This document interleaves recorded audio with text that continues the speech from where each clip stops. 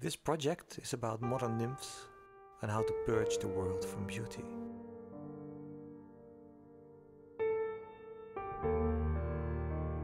We all know the nymphs from Greek myths.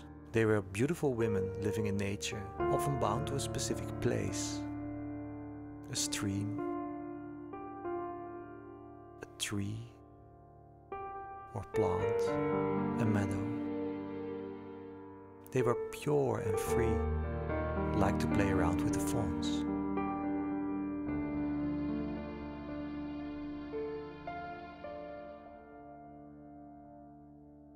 But these are mythical beings. They no longer exist. Extinguished. Like the dodo, dinosaurs, men with high hats, and little red riding hoods. But guess what? Nymphs adapted to modern times. There are still nymphs in the here and now. But don't expect to find them near a tree, a stream, a field, or even a cactus. Modern nymphs belong to modern places.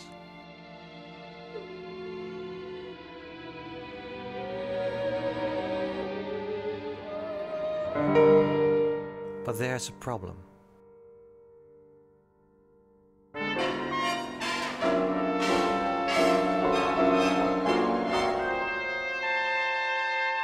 Keep the economy growing to preserve our way of living. No place for wonder, beauty or mysticism. So all beauty must die.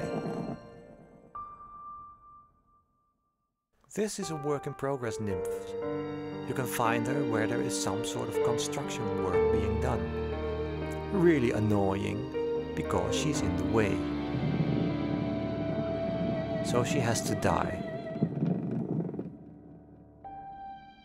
This is a scrapyard nymph, found on a car cemetery.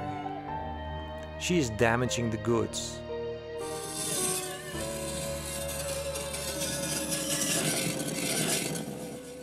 This project is about modern nymphs, how they live, where to find them, how to hunt them down, catch them, and purge the world from beauty.